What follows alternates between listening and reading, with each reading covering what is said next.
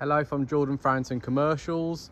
Here we have a Ford Transit Custom, which has come direct from the lease company, like the majority of our vehicles.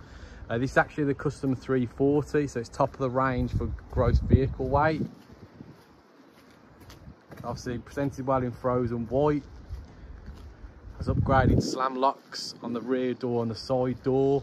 But when we get inside this vehicle, when it gets more interesting, which I'll show you in just two seconds.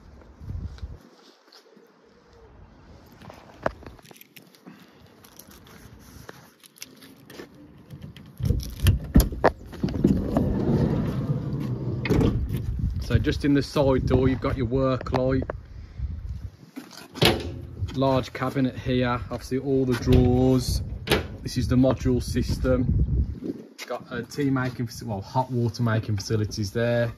Tea or coffee. Obviously, section for files, storage. We'll just go to the back.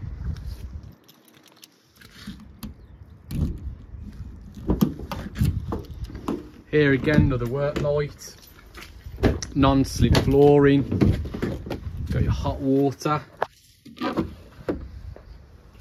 pull out voice, you got your power, 230 volt power, again, module racking storage, lockable cabinet there, as you can just see there you got the part for the night heater,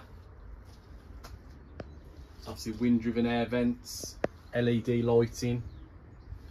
I'll show you all the leisure batteries and the power inverter system. I'll show you in the cab.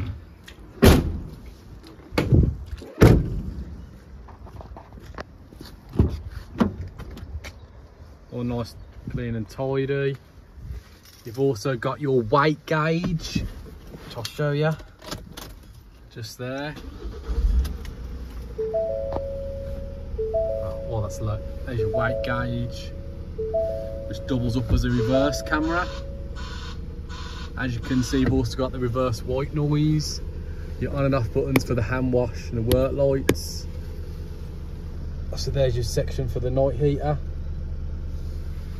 Any other questions at all, please give me a shout.